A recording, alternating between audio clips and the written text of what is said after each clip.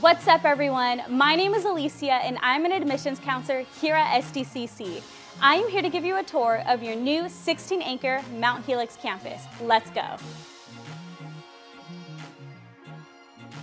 Welcome to the lower level part of campus where there are five classrooms, a library, and chapel that will be open select mornings for prayer. Don't worry about parking because this part of campus has its own parking lot. My favorite part about campus is that it is so beautiful.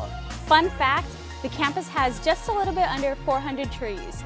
And there are tons of places for you to study, chill, relax, or even set up a hammock. Welcome to Upper Level Campus, and not only are there five additional classrooms, but in this building will be the offices of your professors, the admissions team, and financial services. Welcome to our Activity Center. We are so excited to offer intramurals and this will also be the area for student events and activities. And on top of that, some of our sports teams will practice here.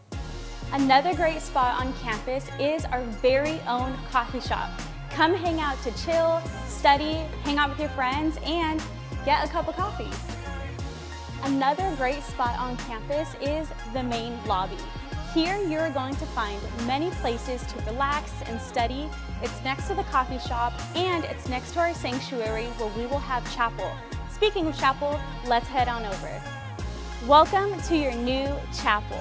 This chapel has just over 1,900 seats and it just got renovated. We are so excited to see what God does this fall.